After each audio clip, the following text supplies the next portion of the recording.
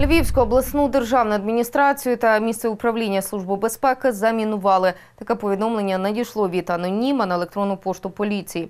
Як наслідок з приміщення евакуювали сотні працівників. На місцях працювали вибухотехніки, кінологи, слідчо-оперативні групи та співробітники інших служб поліції. І ні у будівлях, ні на прилеглій території вибухонебезпечних чи підозрілих предметів спеціалісти не виявили. Наразі ж правоохоронці з'ясовують особу аноніма псевдомінера.